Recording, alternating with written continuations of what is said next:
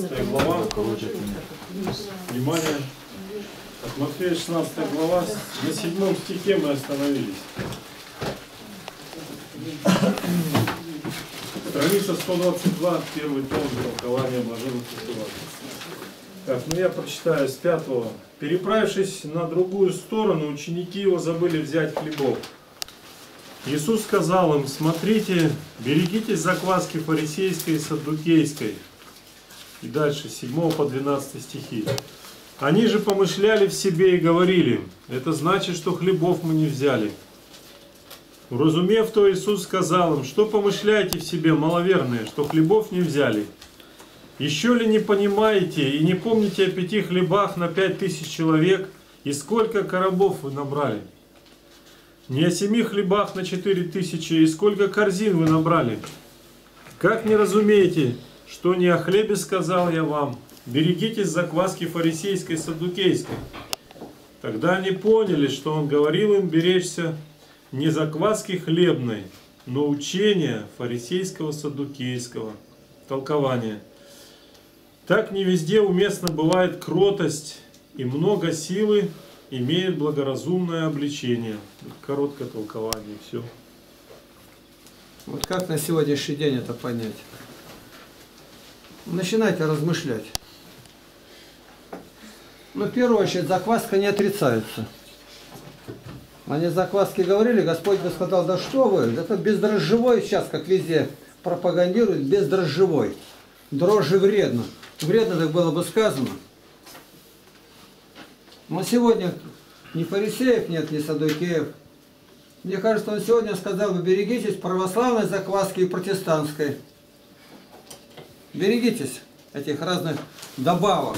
Одни добавляют, другие убавляют. Середины-то не хотят знать. Одни вообще каноны отвергли, другие каноны признают, но говорят, народ сейчас слабый. Я говорю, батюшка, ну почему ж ты пятимью-то не накладываешь? Так то в храме никого не будет. То есть он заботится о кормушке, не о людях, не о спасении. Ну прямо написано, аборт 10 лет. Кто отменял? Да вы что 10 лет? Ну я дал ей 40 поклонов в неделю. То есть он сам за место собора. Сам делает. Вот на меня нападают и говорят, он не признает мощи. Как я их признаю или не признаю? Они на кладбище лежат. Вот я признаю их или не признаю? Они сами себе, я сам себе. Ну придет время, туда лягу. А вот надо достать, раскопать, обмыть, резать. Резать обязательно. Как говорит Андрей Кураев, буквально нанотехнология, что в каждом доме все святые были мощи. Частица. Тот и говорит, вот это у меня 130 разных святых. А ты уверен? Там от того отщипнули. А где же Иоанна Крестителя? А целая лопатка у Паши турецкого хранится. В музее хранили предполагаемый череп Гитлера, а там вообще он рядом не лежал. Хоронить останки царской семьи. Останки. Какие останки? Ты маленько-то думай. Дали указание царю и царевичу голову отрезать. Сразу спирт. Привезли их. Калантай пишет, как привезли в стеклянных сосудах, и там голову плавают, там что есть. И они все там, Ленин, пришли, рассматривают. Ну вот видите, как бороться надо-то. Сразу, и все. Всех до одного. А этих, этих дробили. Специально они там, я не знаю, 12 что ли пудов кислоты привезли. Прикладами разбивали головы и жгли целый день. И теперь нашли мощи, определили. Ну ты считай, Белобородов пишет об этом. Как они расправились с останками царскими. В первую очередь под сомнением на 100%. Что обрели мощи Серафима Саровского, я даже полпроцента не верю. А как определили? По поручам. Так они написаны были? Нет, но в то время такие были. То есть им очень надо. И такой закатили крестный ход теперь. И патриарх там идет. Телефон. Как такой кочежец. Едут где-то. Говори.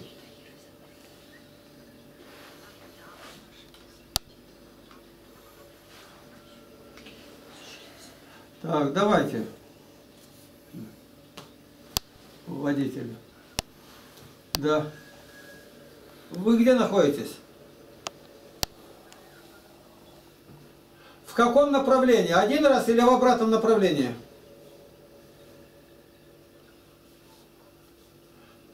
В сторону к нам. Вы один раз пересечете, когда линия перед вами будет, и проходите село Подстепное Паново. Видно, что строят новая линия. Это? А потом направо повернули. На... Вот, железнодорожно переехали, никуда не ехать, а вдоль полотна ехать, влево сразу. Я же говорил. Вернуться вле- влево и прямо сразу вдоль полотна идти на юг, на солнце. Там дорога одна, она повернет сюда к нам. Подсолнухи там растут, подсолнухи. А? Подсолнухи растут, подсолнухи. Поле подсолнухов. Подожди. Ну да, говори, что ты лучше меня Так скажешь. подсолнухи где растут? Ну дай подсолнухи, просто. Алло. Алло. Отключилось. Там связь Ну, пропадает. Какие подсолнухи? Я говорю, подсолнухи разве это ориентир? Облако куда? На Во, облако? во, поле от ориентир? 200 гектар. С линии сошел, влево Ну, поверни. влево поверни, там дальше подсолнухи будет, и ехай по дороге прям. Ну, что это непонятно. Ну, ладно, что ты. Давай. Ориентир нужен такой, который сегодня-вчера. Мама наша ушла молиться, обратно идет, а дерево спилили. Она прошла туда-сюда, вернулась. Похоже, говорит, но тут дерево было. А пока молилась, дерево спилили. Ну, пока мы будем, подсолнухи еще два месяца не уберет. Будет два месяца еще стоять, поле по- 200 гектар подсолнуха.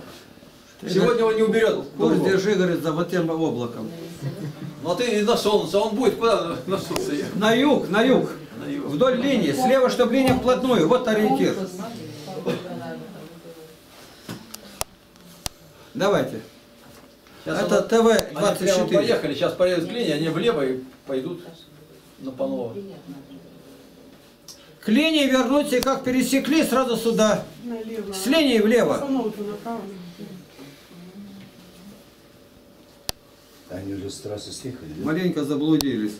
Не Так, маленько. На 74-м километре им сказали, что мы с ним. Они уже до переезда приехали. А, это переезд? Ну, конечно, там налево. Так, продолжаем, да? Давай. С 13 стиха. 13. Так. Придя же в страны Кесарии Филипповой, Иисус спрашивал учеников своих, «За кого люди почитают меня, Сына Человеческого?» Толкование. Далеко отводит учеников от иудеев для того, чтобы никого не боясь, они могли отвечать смело. И прежде всего спрашивает о мнении народа, дабы возвести, возвести учеников на степень большего разумения и не оставить их в скудных понятиях толпы. Он не спрашивает, кем называют его фарисеи, а люди, разумея простосердечный народ. Ну вот поучаствуйте в этом. Сегодня как это? Мы родились здесь, в Потеряевке. Батюшка здесь, я хоть на Харьковке, ну маленький. здесь. Ну и как? Никак. Дома молились, посы соблюдали. Но я знал, что Богородица выше Христа, это точно уже. Она мать. И если я зайду в церковь, без поповцы там были, я две свечки всегда покупал. Божьей Матери это. А, а кто Христос? Ну кто? Сын ее. А что Бог умер за меня, ни один человек не сказал мне этого, никогда. И что через него я могу иметь спасение, ни один не сказал, ни мама, ни папа, ни тятя, никто. Значит, они и сами не знали. Потом только мать обратится. Вот простой народ. На простой народ ссылаться-то их учили, они знали. А это не учили. Ну, вот, допустим, наши скажут, ну, Надина он, мама была, она поехала в город, а там церковь открыла. Она знала одна, что в Никоньянскую церковь заходить нельзя. Все. Ее четко научили. Она одна, церкви нету. Но она, не заходи, главное это, не заходи. Я говорю, а почему? Разговариваю один, говорит, а меня мама умирала, наказывала, 77 вера, Бог один, ты молись икону только на подоконнике держать, вешать нельзя. И он на подоконнике только-только начинает строить, первым делом икону водрузил на подоконник. Это, учат люди так, и не один, и не два года.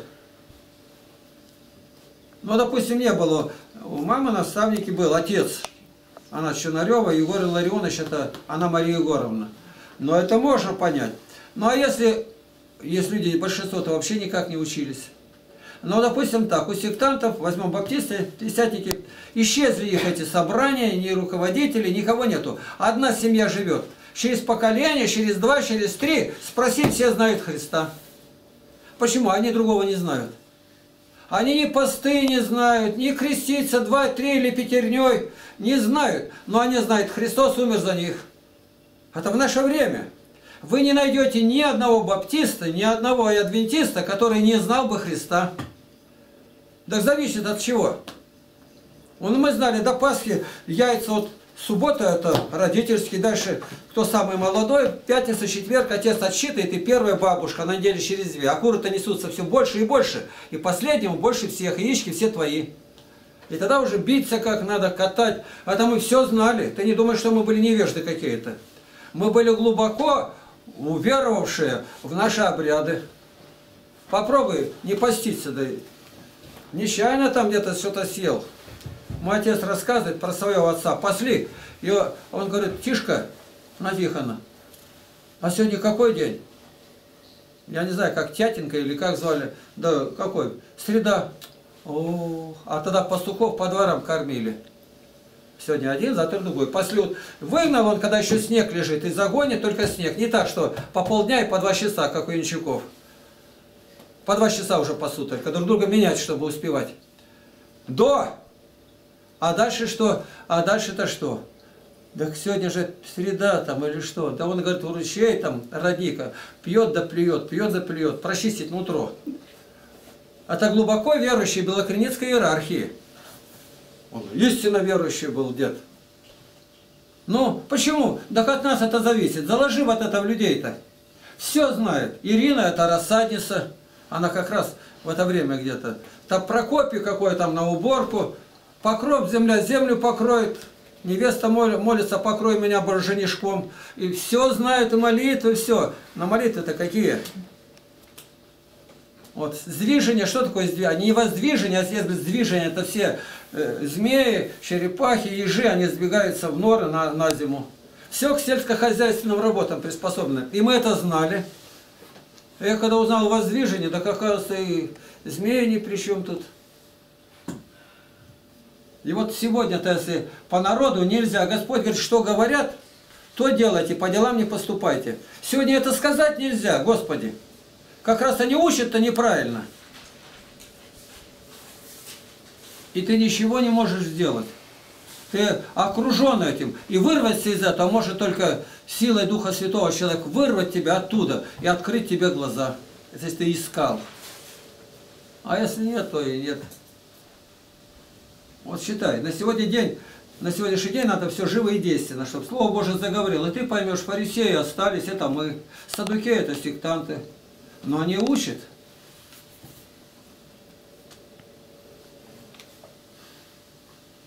С 14 по 16 стихи.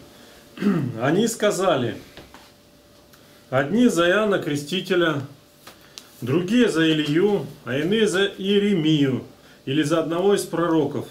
Он говорит им, а вы за кого почитаете меня? Симон же Петр, отвечая, сказал, ты Христос, Сын Бога Живаго.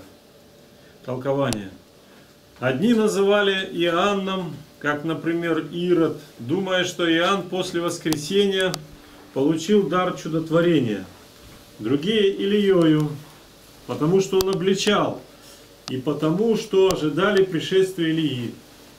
Третьи Иеремию, по его природной, а не наукою приобретенной мудрости, так как Иеремия определен был на пророческое служение еще в детстве. Петр по своей горячности предупреждает других и справедливо исповедует его Сыном Божиим, но не говорит «Ты иси Христос, Сын Божий», без артикля, а с артиклем, то есть Сын единый и единственный. На дорогу выйди их задержать, а то они мимо проскочат. Сын не по благодати, но рожденный из существа отчего. Ибо Христами без артикля были многие, как, например, все цари и священники, а слово «Христос» с артиклем один. Вы поняли, что он толкует? Вот спрашивают, что за артикль? Артикль, допустим, по-английски, э, по-немецки Mann. Der это означает вот этот. А если ein это один из мужчин. Ну и по-английски the стоит здесь, или какой там артикль, или э. Какой арти- артикль? Впереди предло... слово-то стоит. Существительное имеет артикль. Артикль указывает на род. Вот в немецком языке die, der, das. Das это среднее. И оно не совпадает. У нас среднее.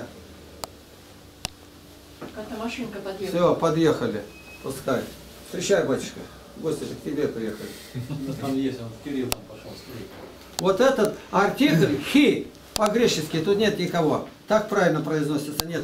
Буква В это с крючком внизу. Она перед помазанником стоит только одно. Это конкретный человек. Не просто помазанник, цари помазанника были, но дер стоит. Артикль, указывающий на определенного личного человека. В оригинале. Ну, то есть это переведено с греческого, где там артикль? Да. Ну, с греческого у нас Он же перевод. сам грек был. Да. Ну, то есть слово «ты» считается Или артиклем. Да. Лука, этот, Матфей. А, Матфей. Блаженный Феофилак, который говорил. Когда спрашивают, ты пророк? Он говорит, нет, как же, он же пророк. Там стоит, ты тот пророк, с большой буквы. А тот пророк, это один Христос. Он говорит, нет, я не тот. Ну ты же пророк, Иоанн Креститель. Да, я пророк, но я не тот единственный пророк. Вот я все время искал, ну, я знал, что я в аду буду гореть. Я грешник. Меня никто не мог обмануть. До времени, пока в руки не попало Евангелие, я увидел, что за меня умер Христос. Почему же никто не сказал? Вот через которых я обратился, она Михаила Анна, и она всю жизнь, говорит, все было. Душа истомилась, она очень искренняя. Батюшке говорит, ну, батюшка, ну, ты же исповедовалась, Анна. Исповедуюсь, батюшка, посты соблюдаю, а душа томится, я же грех делала. Ну, ну ты же в оставлении грехов ты принимаешь таинство. Посылает ее в монастырь, она поехала, там свой серапион, старенький, и говорит, так надо жертвовать. Она говорит, я отдала все, у меня уже квартиры нету, у меня ничего нету. Что дальше ты говорит? Ну почему не сказали, что за тебя умер Христос? Такие простые слова. Но они не были сказаны. До времени, пока она не обратилась там, где услышала.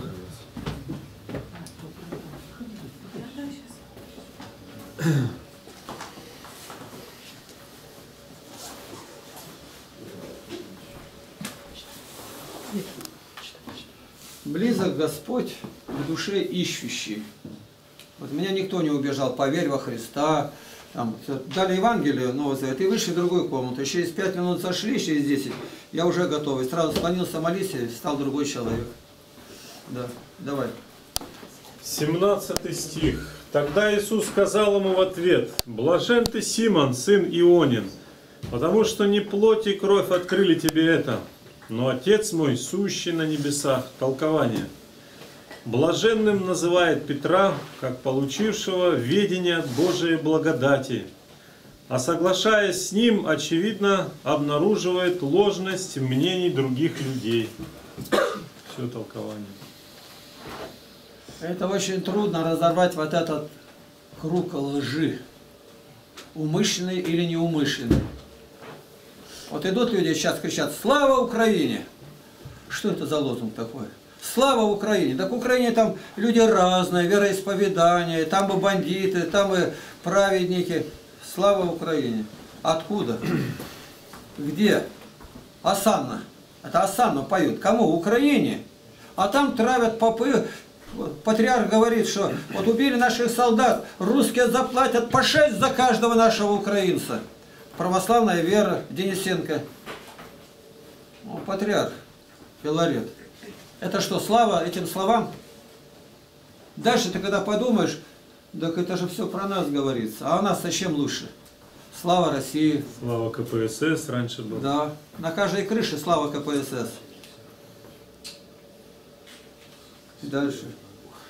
18-19 стихи. «И я говорю тебе, ты, Петр, и на семь камней я создам церковь мою, и врата ада не одолеют ее, и дам тебе ключи Царства Небесного. И что свяжешь на земле, то будет связано на небесах, и что разрешишь на земле, то будет разрешено на небесах».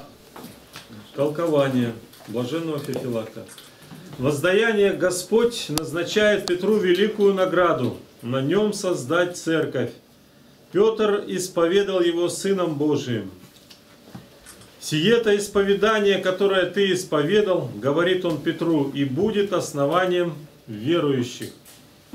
Посему всякий, намеревающийся устроить здание веры, должен положить в основание это исповедание. И мы, если совершаем много добрых дел, но не имеем в основании их правого исповедания, не впрок созидаем. Врата адовы суть, являв, являвшиеся по, врем- по временам гонители, которые прельщением не сводили христиан в ад. Еретики также суть врата, ведущие в ад. Но церковь многих гонителей и многих еретиков преодолела. Также и каждый из нас есть церковь и дом Божий. Потому, если мы утверждены на исповедании Христовом, врата адовы, то есть грехи, не одолеют нас. Подключаем и разумеем прощение, разрешающее или запрещение, связывающее грехи, так как те, которые, подобно Петру, удостоились епископской благодати, имеют власть прощать и вязать. Хотя одному Петру сказано «дам тебе», но дано всем апостолам. Когда? Когда Господь сказал им, что разрешишь на земле, то будет разрешено. Да и самое выражение «дам» означает будущее время, то есть после воскресения. Небесами называются и добродетели, а ключами их – труды. Ибо при помощи трудов, как бы при помощи некоторых отверзающих ключей, мы входим в каждую добродетель. Если же я не делаю, а только знаю доброе, то имею только ключ знания, а остаюсь вне. Связан же на небесах, то есть в добродетелях, тот, кто не входит в них, ибо подвязающийся разрешен в добродетелях. Посему нам не, не должно грешить, чтоб не связали нас узы собственных грехов. Ну вот как применить на сегодняшний день.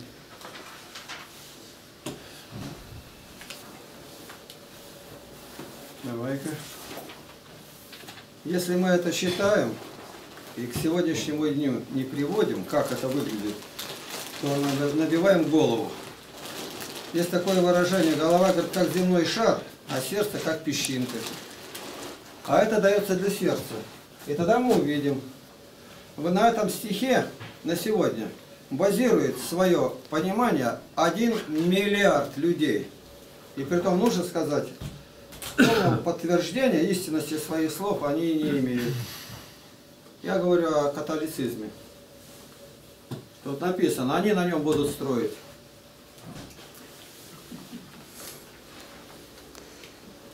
Мы вас и вы нас.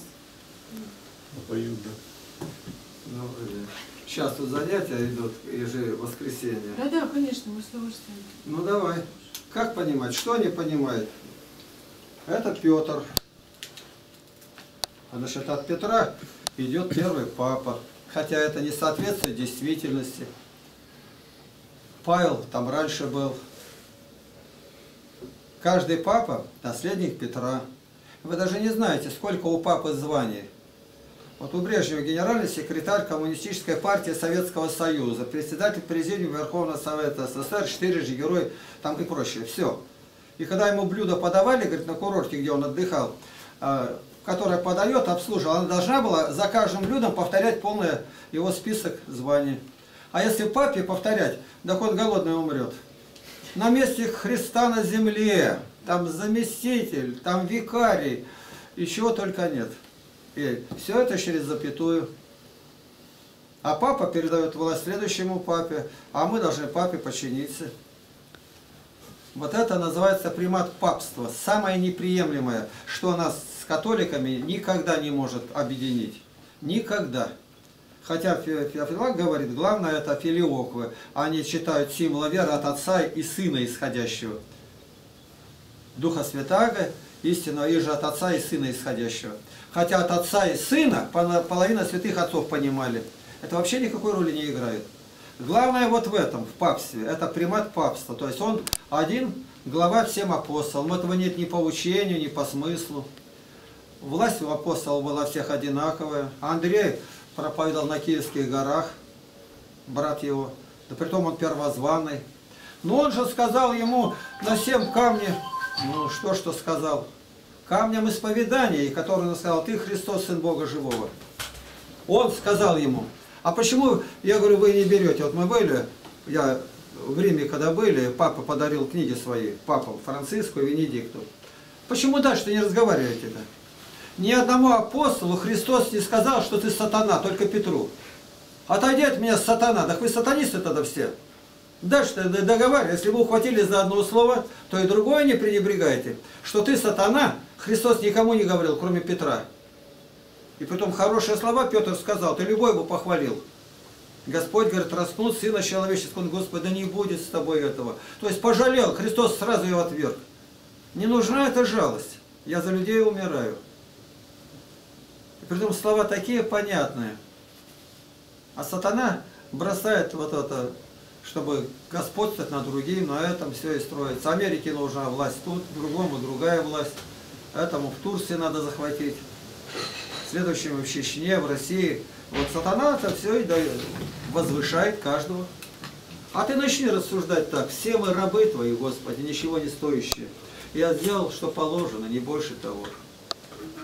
Да, толкованию этому 900 лет. Блаженно Феофилакт, общепризнанный, он говорит на святых отцах. А вы знаете, э, что называется нерукотворный образ? Кто расскажет? Образ Христа, не, рука, не рукотворный образ Христа. Ну, объясняй. Ну, я точно не помню, но где-то, э, хотя он э, убрус взял, как бы полотенце, приложил. Какой уброс? Брусок? Полотенце. Ну так и говори. Ну, так написано. ничего Ну а что? Зачем он взял-то его? Я уже не. Ну тогда молчи. Ну, да. Значит, был такой царь. Тогда маленькие княжества тоже считались царством. Авгарь, да? И вот Авгарь, царь Эдесский, он сам не смог пойти и послал слуг, что прокаженный наш военачальник-то, Неиман. И здесь точно так же. Господь взял полотенце, приложил и отпечатался образ его. Он говорит, отдайте ему. Он утерся, но немного у него осталось. Это как Петра и Феурония-то. Из-за чего неизвестно. И когда он узнал, царь, что иудеи распяли Христа, он сразу стал собираться на войну. Я этих жидов порублю всех. Он так уверовал. От проказа исцелился, а проказа внутри себя осталась. Нерукотворный образ рисует в разные, они не похожи друг на друга, то есть оригинала очевидно и нету нигде. Это чудо, чудо. А я зато говорит, я чудо не ищу, но мне не нужно, я просто верую. Чудеса может и сатана делать. Он может такие кадры построить. Возьмет бумагу, сейчас наложит, и кино вышло готово. И назовет как-нибудь ТВ-25 там или еще что-нибудь. Он все может делать. Пошли дальше. 20 стих 16 главы. Тогда Иисус запретил ученикам своим, чтобы никому не сказывали, что Он есть Иисус Христос. Толкование. Христу угодно было до креста скрывать свою славу, потому что если бы люди услышали прежде страдания, что Он Бог, а потом увидели Его страждущим, то как было бы им не соблазниться Посему-то он скрывает себя от многих, дабы после воскресения без соблазна познали его. при свидетельстве Духа посредством чудодействия. Все толкование.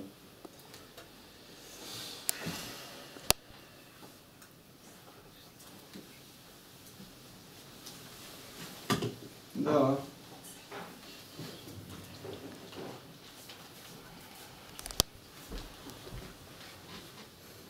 Ну что, на сегодняшний день так называемая экстраполяция событий во временной форме. Тогда так было. Но если оно только тогда, а сегодня нет, то мне не обязательно знать это. Ян Златоуст говорит, у каждой страны, у каждого царя своя мера. Вот, допустим, мы говорим сантиметр, ну, мы знаем, что такое сантиметр. Две клеточки, которые в школе учеников есть. Там 5 сантиметров коробок повдоль. Но у нас точно метр известно. А у англичан есть такая единица, ярд.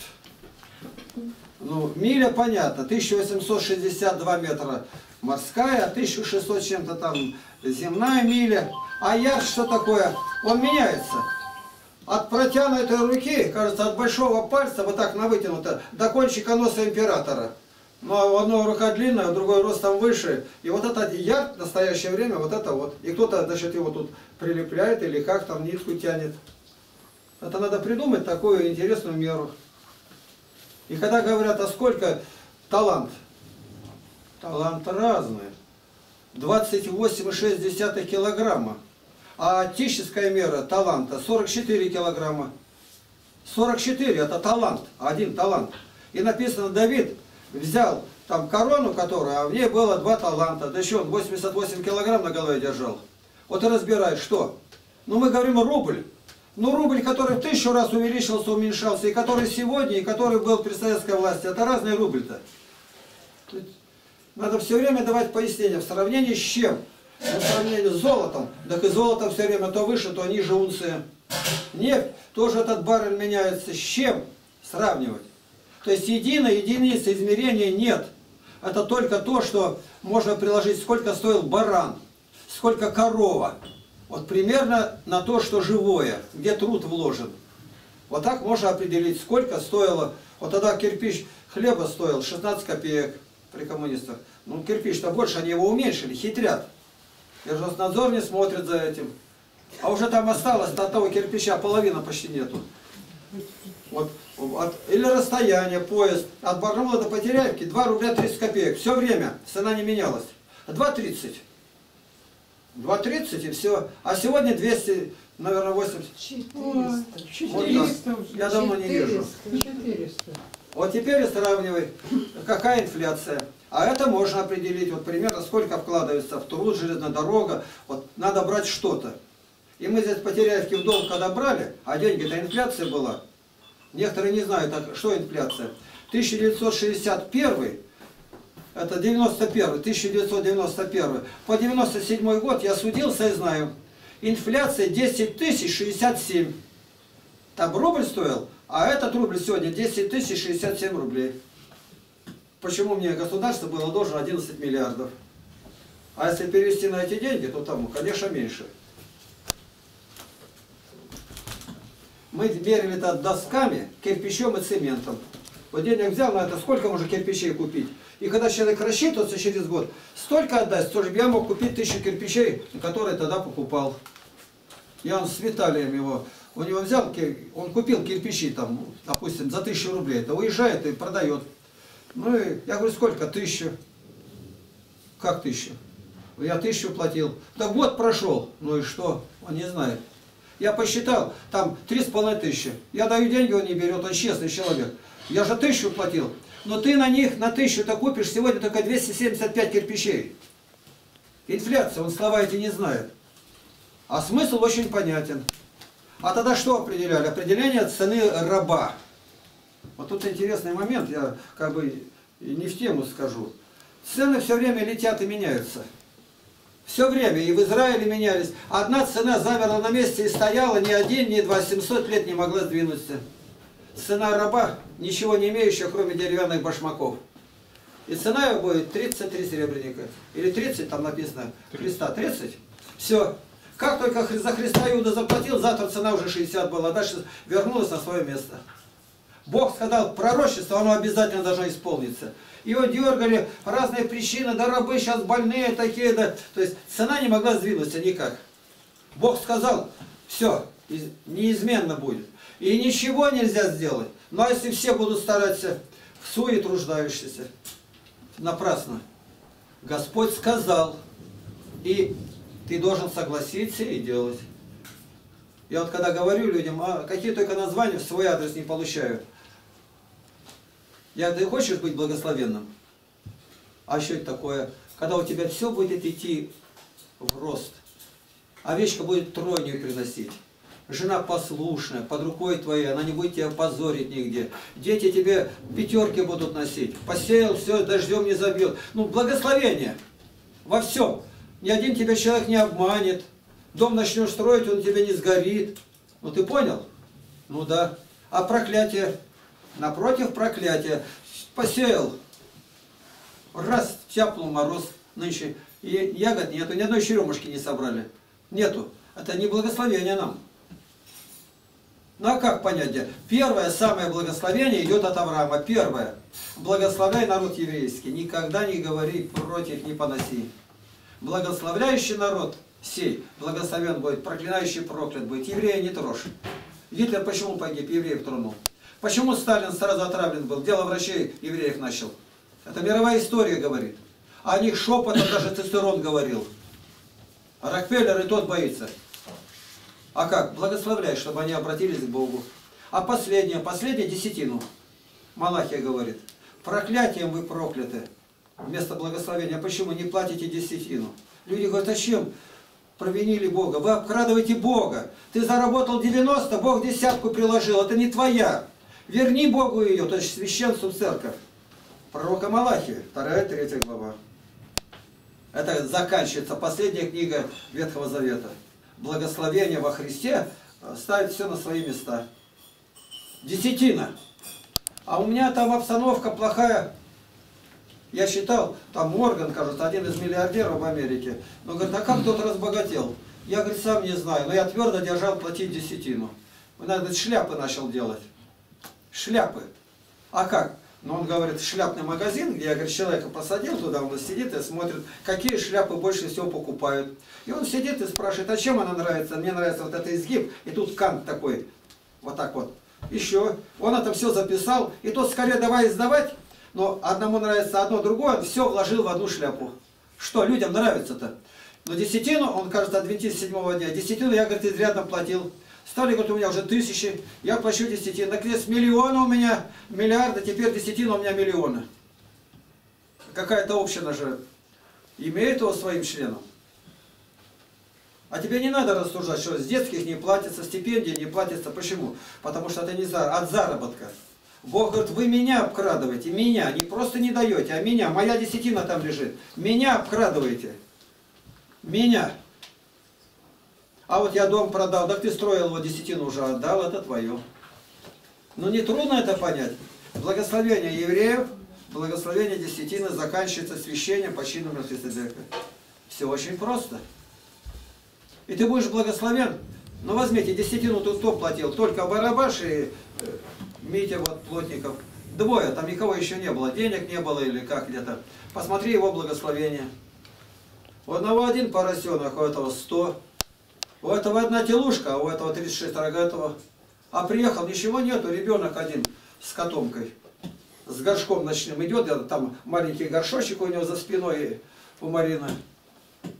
Он платил, и Господь поднял. Бог так будет делать, потому что это его десятина, по-честному, как говорят, без дураков. Бог дал, поблагодари, сразу отложи. Это Божье. Так ворует везде, а Златоуст говорит, это Божье. Ты положи, где хранишь, и свои рядом. Ангел охраняет те деньги, и твои попутно сохранит. Уж на чем даже это поясняет. А я их в банк положу. А раньше было как? Перевозить сундуки закованные, воины. Но золото, говорит, убегало вместе с сундуками, с цепями и с воинами. Вот и все. Пошли. 21 стих. Того времени Иисус начал открывать ученикам своим, что ему должно идти в Иерусалим, И много пострадать от старейшин и первосвященников и книжников, и быть убиту, и в третий день воскреснуть. Толкование. Предсказывает ученикам о своем страдании, дабы, когда неожиданно наступит время страдания, они не соблазнились, думая, что он пострадал невольно и не зная о том прежде. Все толкование. Толкование-то самое простое. Заранее это все предсказано. Так Иуда тогда содействовал спасению. Получается так, но он добровольно пошел на предательство. Поэтому церковь постится в среду и день смерти Христа в пятницу. Это предсказано. Ну а давайте вот все-все объединимся и только за мир будем голосовать, и войны не будет. Ну охота же, чтобы мирно-то было. То только начали жить, чуть-чуть подниматься, и вдруг опять война. И как тяжело-то все это. Все разорение, дом взорвут твой. Не получится. Вот все вместе люди согласятся, соберутся в ООН, будут сидеть, и завтра же будут друг друга поедать. И ничего нельзя сделать. Вздумали Ливию разбомбить? Она член Организации Объединенных Наций. Франция тут же самолеты посылает. Но он члена община. Вы уже приняли его. ее. Ничего, разбомбили. Мадара Каддафи убили. Все. У нас Сад- Саддам Хусейн. Ирак. Ну его, ладно, убили. Говорили, он диктатор. В стране был порядок, ни взрыва, ничего не было. Сегодня-то что там делается-то? Там и ИГИЛ царствует, и война идет. А теперь понимаете, что сделали? Не случайно, когда готовили покушение на Сталина, на этого, на Гитлера, самый последний момент сегодня показывает, Сталин дал отбой не трогать. Не продумали эту операцию-то. Его убьем, другие это пойдут на соглашение теперь. И против нас берут войска с Гитлером, они не пойдут на соглашение. Гитлер нам нужен. Кому? Сталину. Чтобы наша коалиция на два фронта не распалась. Сегодня это всем ясно. Понимаете, какие закулисные еще игры идут. И нам полезно жить в мире со всеми. Кто бы они ни были. Брать полезное. Меня упрекают, вы с мусульманами так дружите. Ну как я дружу? Я говорю, не скрываю, мы ехали, проехали Турцию, были в Азербайджане, в доме Мулы ночевали, пошли в мечеть. Она настоящая христианка, жена его. Переписываемся. Как она дорогой, когда шли, она всех останавливает. Мой отец приехал, мой учитель приехал. Сидят молодые ребята на парапете, она мне, отец Игнатий, скажите им о Христе. Это другой подрастает поколение. Какие они грамотные, какие они вежливые. Так они, ну они такие, как мы. Если бы все это люди знали, таких не было бы мирных. У них написано, изменил веры, голову долой, то есть везде. Пьяный, голова долой, наркотики, голова долой. А эти-то местные, это они мусульманами называются, они такие демократичные, либеральные. Они, я говорю, вот вам оседать кафедру тем, которые шахиды, и этим, и ничего не давать, кроме Корана. Эти сразу победят шахиды вас. У них написано, убивать он убивает. Он убивает, и все. Женщина идет, оделась в другое платье. Закрытое тело, не того цвета, тут же расстреляли на месте. Вещь невероятная. Так а что у них? И у них так, я Кораны, один том посвятил Корану, по сурам аятам разбираю. И скажу, что да, так. А какое уважение? О уважении речи не идет. Как нам нужно жить нам? Как жить-то с ними? Вот обвиняют Путина, там большая мечеть в Москве, он ее открывает там вместе с ними, он говорит как-то, как-то ублажить их. Удастся ублажить? Нет, не удастся. Это мы заранее знаем по задачке расклад, как события дальше будут развиваться. Так их целых 2 миллиарда уже. 2 миллиарда покорятся 13 миллионам. А что это за цифра? 12-13 миллионов евреев. Один еврей будет над всем миром. А где это написано? Второй Фестоикийство 24. И сядет в храме в Иерусалимском, отстроенном, мечеть Амара, и он там будет 42 месяца. Не русский, не православный, иудей. А дальше, дальше придет Христос.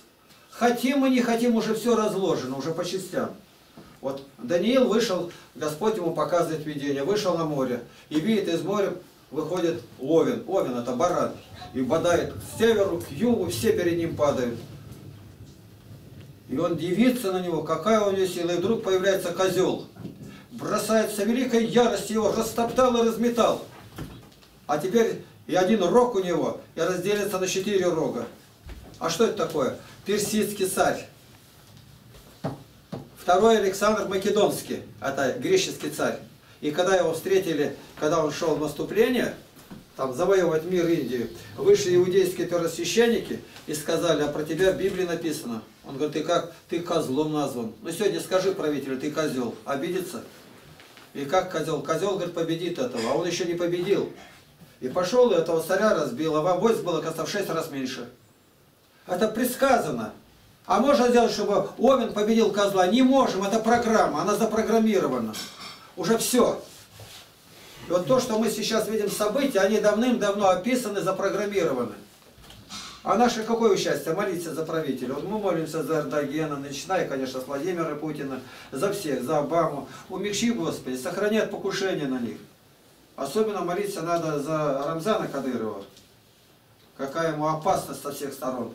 Или вот сейчас на Амана Тулеева, там три организации собрались. Мусульман, убить его при первой возможности, за то, что христианином стал. Он еще христианин-то тайный. А он самый, один из старейших Кемеровской области, ну, региональных правителей. Мы должны Евангелие перевести на сегодняшний день и понять, о чем молиться конкретно. Ну сколько регионов? Башкирия, Татарстан, прочее.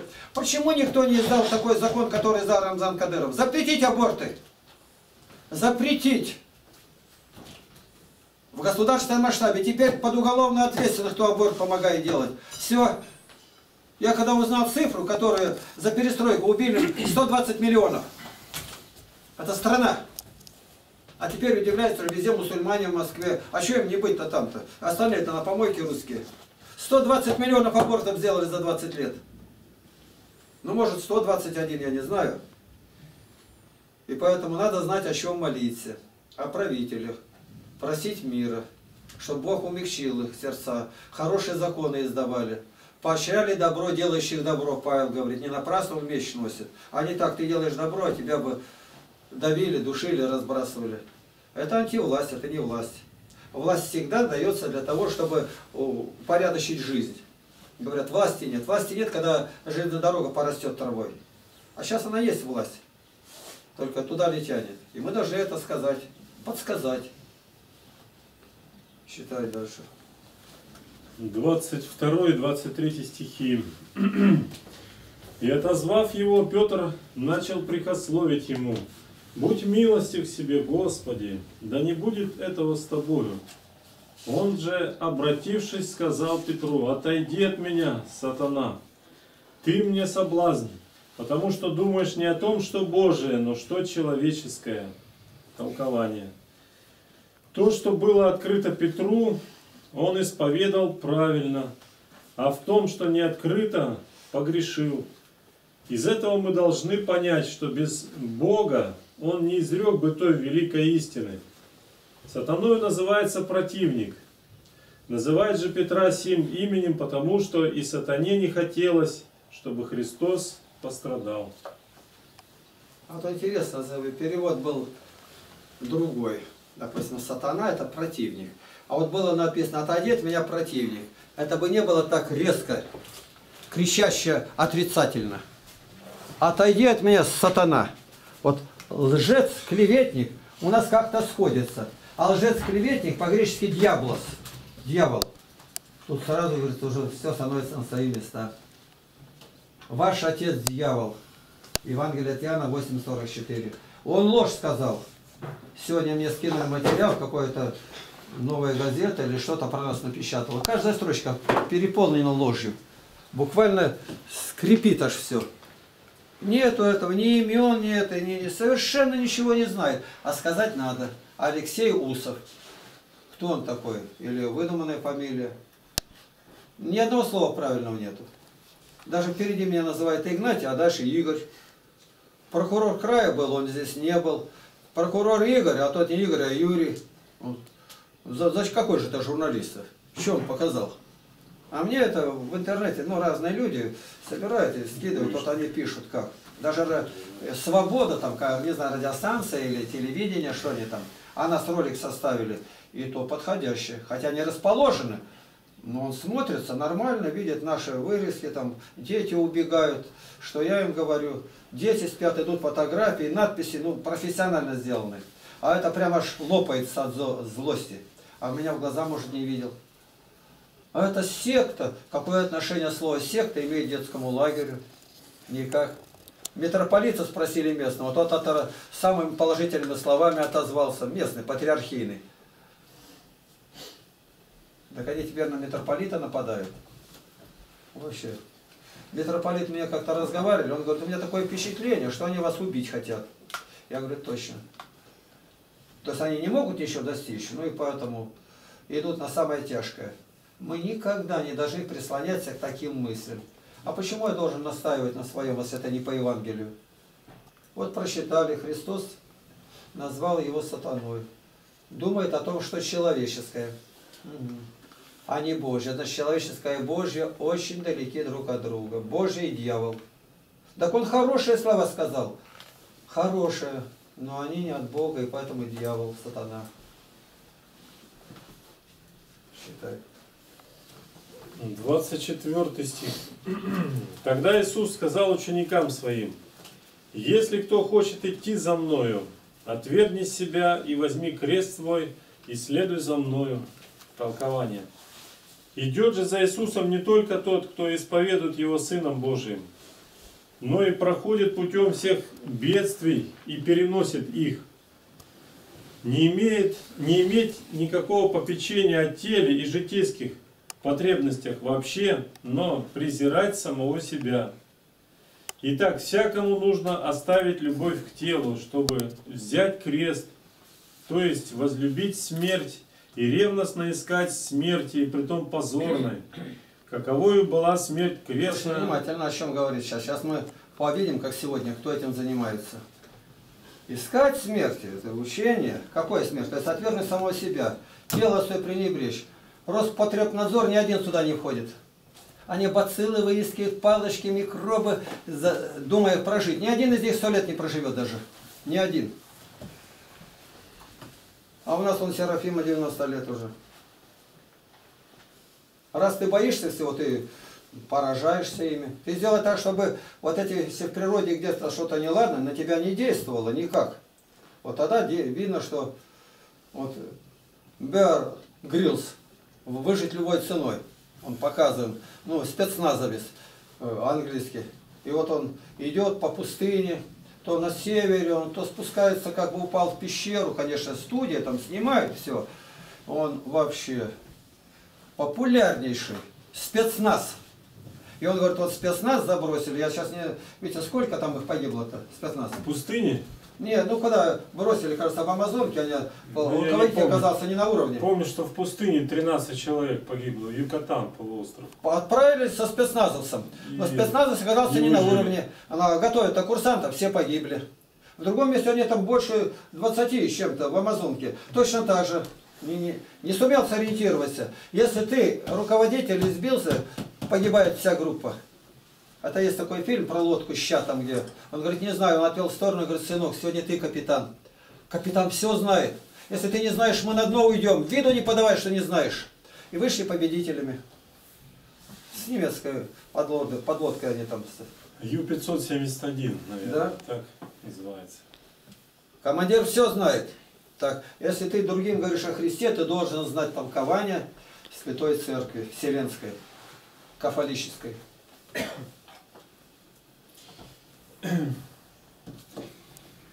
Так, итак, всякому нужно оставить любовь к телу, чтобы взять крест, то есть возлюбить смерть, и ревностно искать смерти, притом позорной.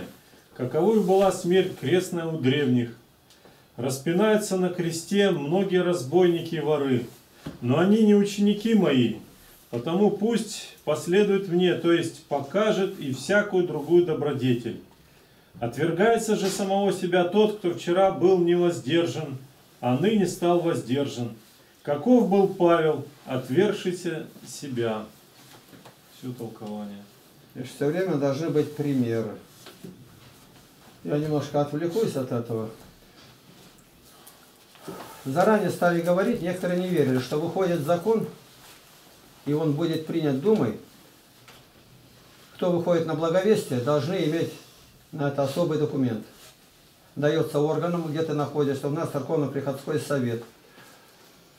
Что руководитель священник, должна быть печать, расписана, и община должна быть зарегистрирована в отделе юстиции, краевой отдел юстиции регистрировать. Краевой. Внимательно слушайте. Ну, у нас свой юрист, я попросил сделать Яровой. Почему закон Яровой называется? Ирина. И сейчас в интернете помолитесь, чтобы Ирину Бог убил. Православным везде. Закон приняли. Что она подбила на это Думу, подбила вроде все. И я прочитал этот закон. Ну, может, я не, не юрист, не разбираюсь. Я не увидел там запрета навсегда. Но бумагу, а дальше в рот она мне не залазит, я о Христе могу говорить. И у нас уже сделано удостоверение. Вот оно. Посмотри. Вот уже все. Сегодня кто желает, паспортами ко мне можете прийти, я вам выдам. Кто на благовестие идет, миссионер. Вот смотри. А на этой стороне Святим Министерство юстиции Российской Федерации. Что община зарегистрирована.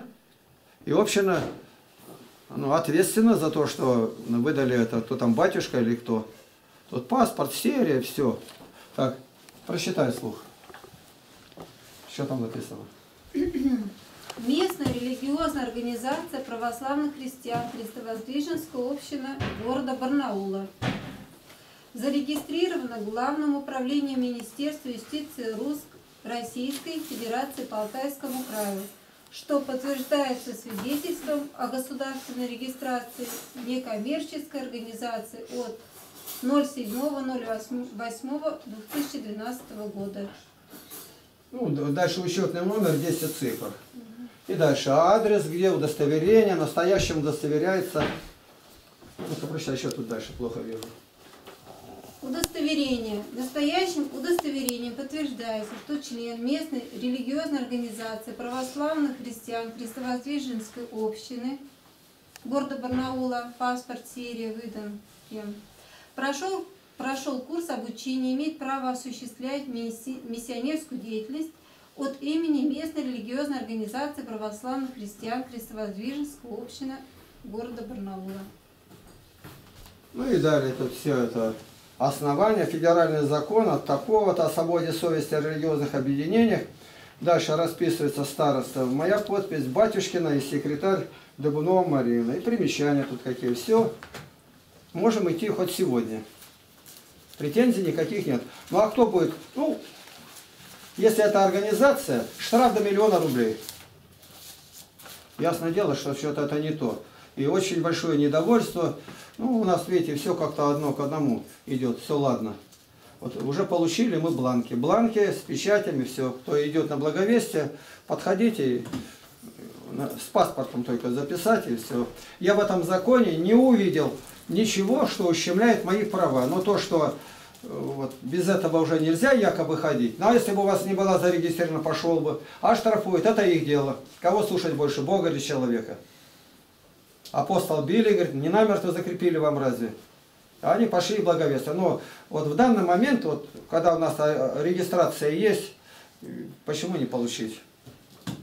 Я не вижу в этом основании. Ни- никаких других, ну не накладывать, что пей воду, не пей, там, ну как Роспотребнадзор, нам никогда не выполнить, это бесполезно и не надо даже выполнять.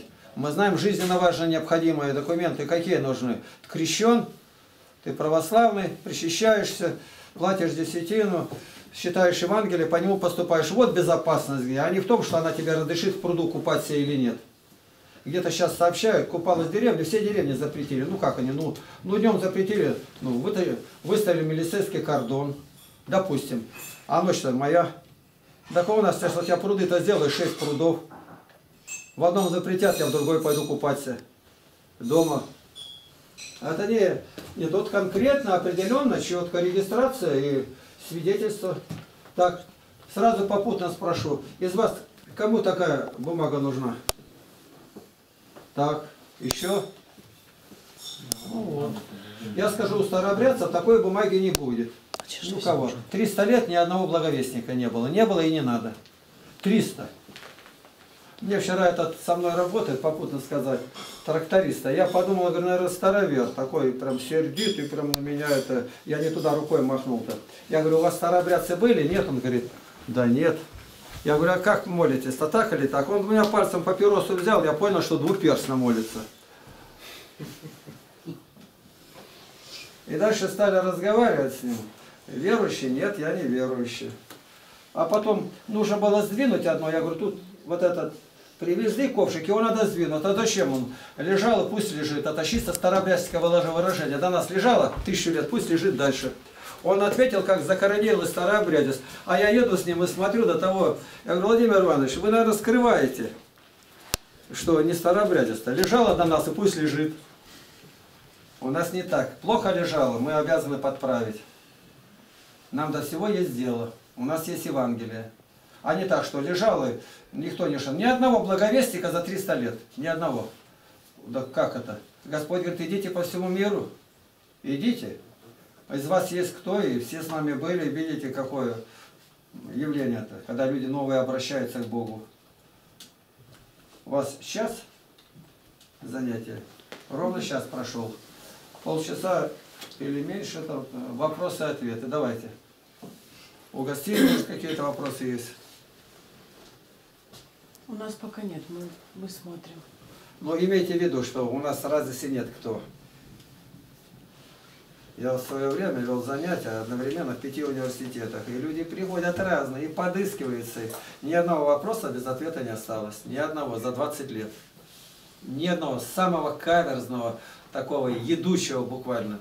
Я свободно раскладываю по частям и говорю, почему он возник и какой ответ. Ссылка на Святую Библию, на толкование святых отцов, на каноны церкви, на жития святых по четырем параметрам. А можно опровергнуть? Ни одного человека такого еще не было. Это нельзя опровергнуть. Это невозможно. Это надо э, предыдущую историю стереть, ее не было бы. Но если канон, вот она книга, правил лежит. Ну как? Мы вот что делаем? Мы смотрим на статьи Конституции, чтобы они не были нарушены. Да вы верующие? Ну, потому и написано, что власти нет, аще не от Бога. Но власть не напрасно носит меч. Она заботится о благе людей. А если не о благе, как вот у нас нынче было, детей разгонять и прочее, мы не можем подчиниться здесь. Детей беспризорных, тут КПРФ приехали, говорят, больше, чем гражданскую войну сегодня по стране. И наркомания, ты что, погибает, показывает он это. Ну, сейчас телевидение, это интернет, все. Мальчишка 13 лет умер от передозировки, там туча их сколько. Вот ими-то и занимайтесь. У меня ни одного больного нет за 45 лет, ни одного. Наоборот, он наркоман, приехал, коноплет схватил и трет помирает буквально. Через месяц ничего у него нету. Нынче принесла, э, вот, я фамилии все могу называть, женщина, мальчик и девочка, большие, лет, наверное, по 12. Таблетка, по пачке таблеток. И э, им по-другому нельзя. У них кровь идет носом. Я говорю, я не принимаю, или домой разворачивайте, или таблетки выбросьте, или сдайте, вам вернут, когда уезжать будете. Месяц пробыли, ни одна капля крови ни с кого не вышла, ничего, изменились. Их надо ввести в природу. Это естественное, вот это что нам Бог дает. Я каждый день готовил так называемую зелень из 11 компонентов. Листья двудомной крапивы, щавель, там укроп, капуста, свекла, листья, э, одуванчика, репей. И вот таких названий 11. Потом мелко режу, толпу и в суп везде добавляю. Э, Когда уже подают, не варить, она в сыром виде. Почему? Организм это требует. А когда мы не, не смотрим, а только глупо подражаем чему-то. Свежий воздух должен быть, не лондонский смог. А для этого надо Богу молиться, чтобы Бог дал тебе чистое место. А то мы живем здесь абсолютно экологически чистое. Ходишь босиком, нигде не, не бывает, чтобы какая-то язва пристала. Главный вопрос это спасение. Хоть тысячу лет живи, все равно умрешь. Вопросы, касающиеся спасения.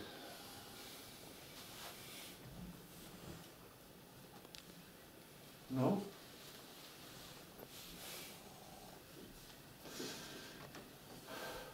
Эти доброе надо брать везде. Мне, я знаю, этот русский антихрист Иванов. Знаете, водой обливаться учил. Порфирий Корнеевич. Он говорил, главное болезнь не впущать в человека, не впущать. Лишнюю одежду себя долой.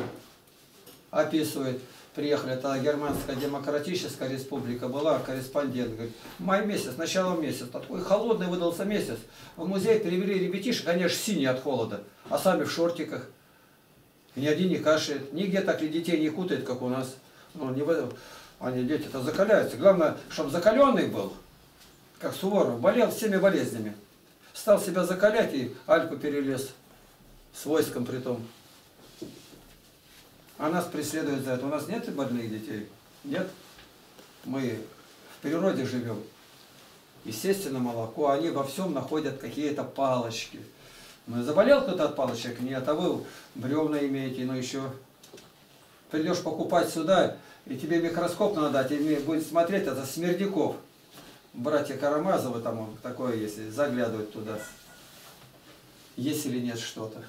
Организм принимает, как мама у нас говорила, дышите, ешь. Определитель твой, запах, вкусовые качества. Вот если плохое, организм извергнуть не нужно. И ничего там нет. Так точно надо разбираться в духовной пище. Преподают не то. Ты должен сразу решиться. Вот я говорю, рассказывали, это не православная, баптистская девчонка. Одни пятерки. И вдруг приходит единица. Мать не заметила, когда две поставили, и мать узнала, а мать сразу сполошилась, что случилось? Она говорит, да, стихотворение заставляют рассказывать, а оно неправильное. Как неправильно? Неправильно. Там написано лампочка Ильича. А почему Ильича? Бог дал электричество и все. Она пошла к учительнице. Так говорит, я спрашиваю, нет. Давайте скажите, чтобы она могла прокомментировать. Она, ну давайте, она рассказала и говорит, стихотворение неправильное. Это шестой, что ли, класс. И она им объяснила. Вот на, ей пятерку с плюса надо ставить, а не единицу. У тебя вот приезжали внучатки нынче, это две, это Васин это, ух, востроглазые. Она рассуждает, как будто студентка первого курса. А там, не знаю, третий, четвертый класс она где-то. Обо всем. Я говорю, какие же у тебя отметки? Пятерки, она так, пятерки, как будто бы на наш какой-нибудь ответит тройки. То есть, что занимается. Вот так в Священном Писании.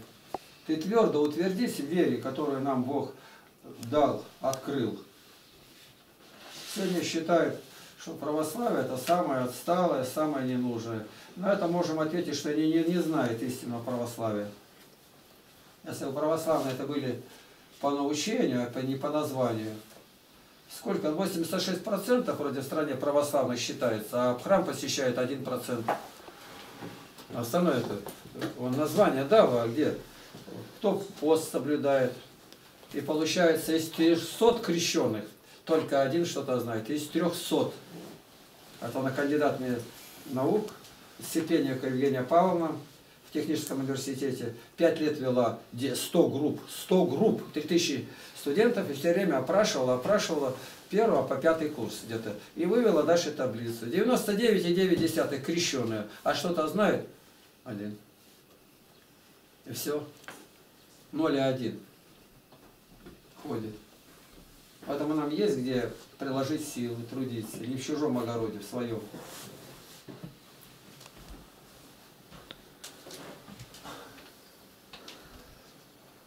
Что, батюшка, вопросы какие? У меня нет. У кого вопросы какие? Если Давайте. нет, все, заканчивается. Сейчас закончим. Ну что, ничего больше нет? Призывайте к молитве как бы.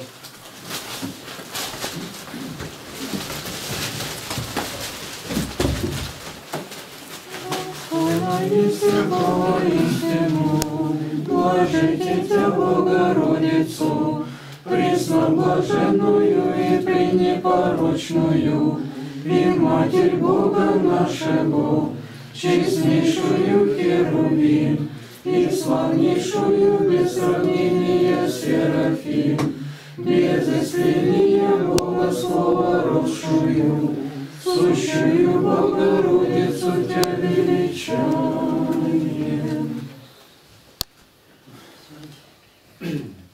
Господи, благодарим Тебя за это тихое мирное время, за эту возможность собираться и вникать в Слово Твое Святое. Хвала Тебе. Посети, Господи, нищих, сирот, вдов, одиноких, страждущих, болящих, гонимых за веру, томящихся в узах за Слово Твое, милующих, питающих нас, подающих нам милостыню. Тебе за все хвала, слава, честь и поклонение, Отец, Сын и Святой Дух. Аминь.